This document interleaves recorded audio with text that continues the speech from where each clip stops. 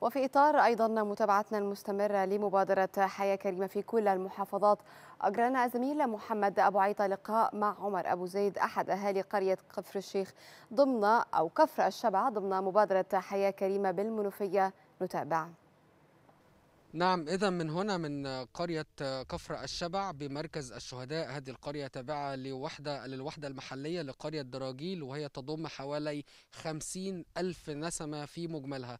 طبعا هذا المركز مركز الشهداء هو الآخر يضم حوالي أو أكثر من 380 ألف نسمة وبالتالي فإن خدمات حياة كريمة التي بدأت بالفعل في الدخول إلى كامل أرجاء ونجوع والقرى الفرعية والصغيرة المتفرعة في جميع أرجائه بدأت بالفعل تغير من حياة يعني المواطنين الذين يقيمون في داخل كل هذه القرى. لدينا الآن واحد من أهالي القرية وهو ضيفنا هو المهند... الأستاذ عمر أبو زيد وهو يقطن بهذه القرية قرية كفر الشبع وهو يحدثنا الآن ونحن هنا في هذه الوحدة الصحية التي جرى العمل على تطويرها وإعادة رفع كفاءتها ليتم افتتاحها من جديد خلال فترة مقبلة لتقدم خدمتها للأهالي.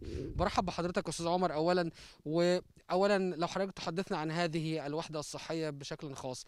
قد إيه حضرتك شايف إنه الوحدة الصحية هنا بتخدم أو كانت مهمة لقريه لأهالي قرية كفر الشبع؟ طبعا الوحدة الصحية مهمة جدا بالنسبة لقرية كفر الشبع لأن التطعيمات كل الخدمات الأسرية كل الخدمات إحنا يعني فيها فيها أسنان فيها عيادات خاص عيادات للأسرة طبعا التطوير إن شاء الله هيبقى حاجة جميلة جدا علشان طبعا هيبقى فيها هتتطور لدرجة إن هي هتبقى تواكب المشروع الجديد بتاع التأمين الصحي الشامل. فإن شاء الله إحنا بنعمل تكون حاجة إن شاء الله يعني تليق بالمبادرة بتاعت حياة كريمة إن شاء الله بإذن الله. مبادرة حياة كريمة جات كان حلم. ما كانش حد يتوقع إن كمية الخدمات دي كلها تحصل في وقت قصير جدا. ما كانش حد متخيل ده كله. يعني بسم الله ما شاء الله يعني إحنا بنتكلم في صرف في غاز في تطوير منظومة صحة تطوير طرق تطوير قرية من جوه نفسها ال ال ال الكهرباء بتاعتها مياه الشرب إحنا كنا بنحلم بملعب. ما كانش عندنا ملعب كان عندنا اي مركز شباب مركز شباب كان عندنا مركز شباب 50 متر أو 40 متر. دلوقتي ما شاء الله عندنا مركز شباب مطور.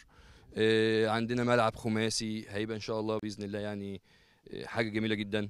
كنا بنحلم إن إحنا الحاجات دي كلها تيجي. مشاهدينا هذه كانت صورة من هنا من واحدة من أهم القرى في مركز الشهداء والتابع لها هي هذا التابع الذي نتحدث منه قرية كفر الشبع وهي تابعة لقرية دراجيل.